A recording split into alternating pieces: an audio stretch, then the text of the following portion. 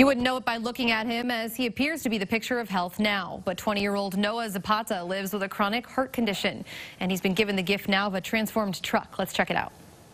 Exactly half his life ago, 20-year-old Noah Zapata's life took a scary turn. Uh, Noah never went under. I just knew he, he had stopped swimming the way that he should have been swimming. Phys ed teacher Chris Caselny pulled then fifth grade Noah out of the pool. He'd had a heart attack and continues to live with a critical heart condition.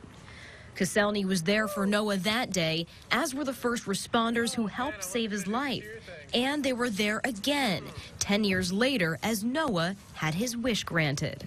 Wow. My God. Check it out, bud. Check it out. Oh, man, I wasn't going to do the crying thing. I mean, what the heck? Where's the? What the heck, man? Pleasure, bud.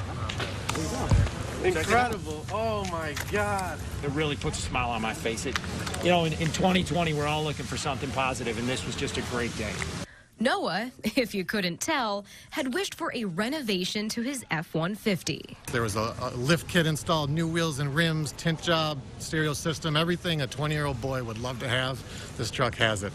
Despite a decade of uncertainty and surgeries, Thursday was nothing but unbridled happiness.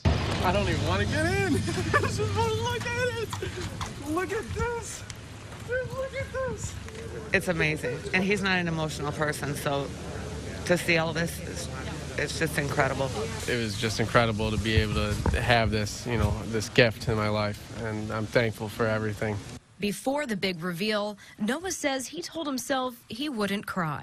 Then I seen it come around the corner. I'm like, holy, I, I holy, like I can't believe it. I cannot believe it. It's it's a wish come true.